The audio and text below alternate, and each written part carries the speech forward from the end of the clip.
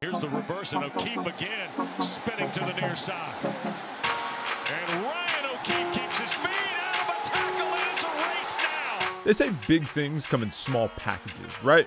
In Ryan O'Keefe's case, big plays. Keene, again O'Keefe, couple of blockers in front of O'Keefe, will score. I may be short, but I don't let that stop me from doing nothing. I'm fast, you know, and I'm, I'm really I'm really physical. Like a lot of people wouldn't expect that, but I'm trying to hit somebody for real. He knows where he's going. The ultimate goal, like I said, is to make it to the NFL. Most important, he knows where he comes from. I think about it all the time just because, you know, I'm blessed to be in the position I am today. Like, this could have turned out in many different ways. Big things may come in small packages. For Ryan O'Keefe, look at his little feet. So cute. blessings come from humble beginnings. There he is, looking bright-eyed. Right here is when we first brought him home. Ryan was surrendered by his birth parents at just two days old. It was made legal under Texas's then newly passed safe haven laws. It allows parents who are unable to care for their newborns to leave them in a designated place. Our social worker called and said, there's a baby that needs a mom and dad, and he's at the NICU at Brackenridge. Would you like to um, come and meet him? And we're like, yeah, we'll come meet him. That day, Michael and Donna O'Keefe's family grew to three. Ryan made his introduction pretty well known. I hear this loud scream, and there's millions of kids in there, little kids. You wouldn't believe how many. But Tiny walked babies. in and I said, man, I just, uh, hopefully that's not him. Well, guess what? Yes, it was.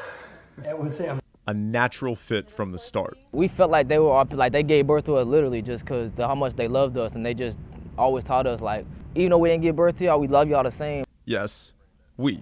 Why do I look so scared? So what? I look so scared. Look at me. Just 20 months later, Michael and Donna adopted James, Ryan's biological younger brother. It's really great to have people who just didn't see color and they didn't care about any of that. They were just like, this is a child who who needs us, and we're gonna give them we're gonna give them everything we can and hope for the best. Parents who gave brothers a chance. It meant a lot to me that we didn't get separated, um, and I had such a uh, idol to look up to growing up. I feel like us two versus the world. So, you know, it's been a blessing to just watch him grow as a person too. Brothers who made a family whole. It just makes me really, really happy because I can't imagine them being anywhere else. I just, I can't imagine it. It's been like a roller coaster. Okay. uh, I don't like roller coasters, but this is fun. And that's all I can say, and it's not over. O'Keefe goes in motion, jet sweep, far side, edge, O'Keefe, touchdown, nice! Pretty easy for number four. Big things are, in fact, coming for Ryan O'Keefe. Whatever happens, just know it's a package deal. Nobody got left behind. Everybody's still together. Nobody left anybody.